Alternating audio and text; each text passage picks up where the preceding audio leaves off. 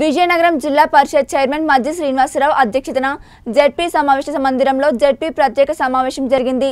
ZP స్థాయి సంఘాలకు సభ్యుల ఎంపిక కోసం నిర్వహిస్తున్న ఈ సమావేశంలో ఎంపీ బెలన చంద్రశేఖర్ ఎమ్మెల్యే కోలగట్ల వీరభద్రస్వామి పలువురు నేతలు పాల్గొన్నారు. జెడ్పీలోని ఏడు స్టాండింగ్ కమిటీలకు ఏకగ్రీవంగా సభ్యుల ఎన్నిక జరిగింది. ఆహ్వానం తెలియజేసుకుంటూ ఈ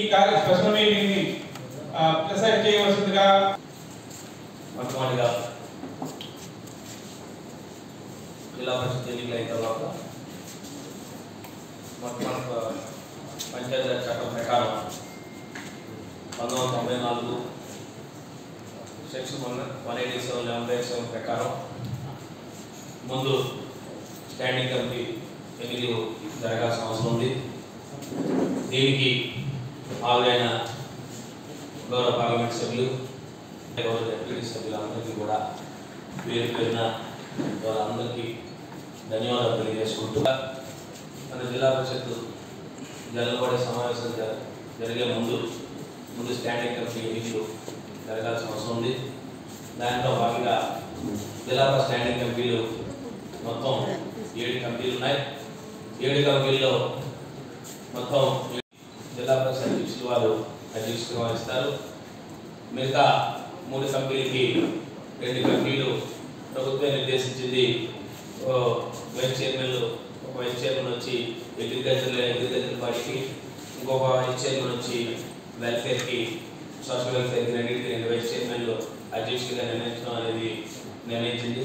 అలాగే ఉమ్మడి చైల్డ్ వెల్ఫేర్కి ఒక మహిళా డెప్యూటీ సభ్యురాల్ని మన చూసుకుని ఎన్నుకోవాల్సిన అవసరం ఉంది.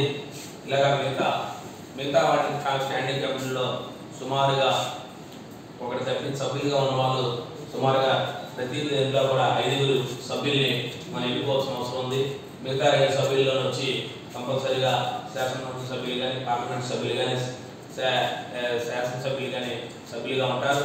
టోటల్గా సభ్యులు మొత్తం చైర్మన్తో కలిపి అధ్యక్ష వారితో కలుపుకొని సుమారుగా ఎనభై సభ్యులు అంటే ఏడుగురు సభ్యులు వచ్చి సభ్యులు ఒక వచ్చి చైర్మన్గా ఉండొచ్చు.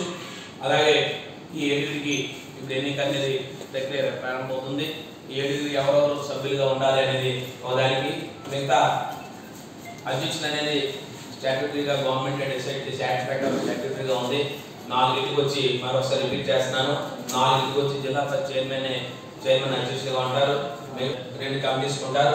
ఒకటి మాత్రం ఒక డెప్యూటీ సభ్యులని మనం ఎన్నుకోవాల్సిన అవసరం ఉంది కాబట్టి దీని ఎన్నికని ప్రక్రియ ప్రారంభించారు థ్యాంక్ యూ సార్